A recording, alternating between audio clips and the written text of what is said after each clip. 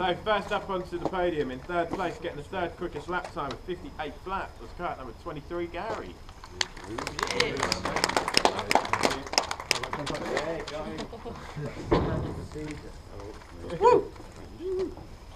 Finishing in second place, also getting the second quickest lap time tonight, 57.7, was car number 4, Luke. Still not first, is it, Lukey?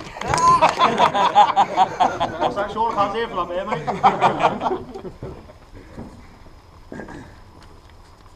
So tonight's winner, also getting the quickest lap time tonight, 57.4, was car number 12, Ben. Well done, Ben.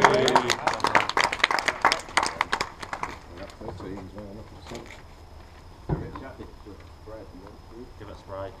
I've used to go home mine on that. Pop it open.